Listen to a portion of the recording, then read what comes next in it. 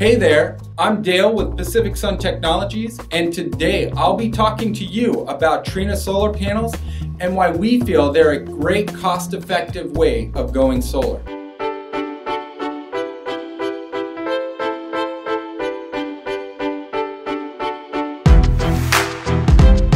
Trina Solar is the largest manufacturer of solar modules in the world. And in 2015, they shipped 4.55 gigawatts of panels, which was 17% more than the runner-up Canadian Solar.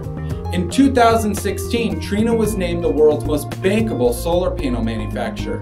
And in that same year, they broke the world record for multi-crystalline solar panel efficiency. Trina Solar is a Chinese company, but so is Canadian Solar.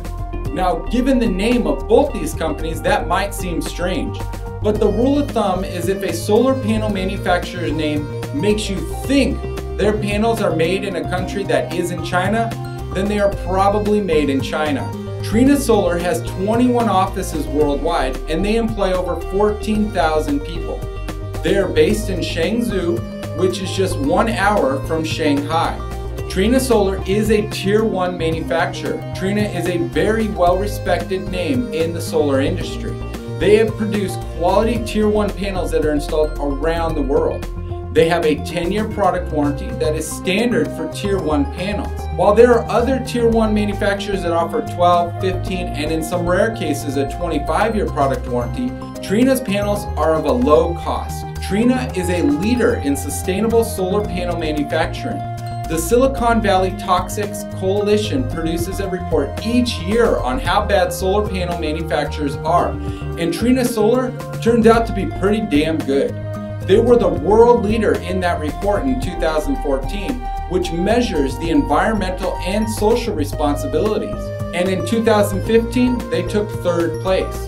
The good news is they didn't slip from their first place because they grew worse, but rather they improved on their score for the previous year, but were overtaken by two companies that managed to improve more than them. Now Trina has this pretty sweet panel called the Honey Panel. When Trina introduced its Honey Panel in 2012, it was the world leader in multi-crystalline efficiency. Well, it still kinda is. Trina named it the Honey Panel on account of how they wanted it to be in the sweet spot between cutting edge technology and cost effectiveness. Trina also came out with a Trina Smart Panel, which has built-in DC optimizers for improved performance. Now DC optimizers are little bundles of electronics that are attached to solar panels and enable them to act more intelligently and improve their overall output. So they simply live up to their name and optimize performance.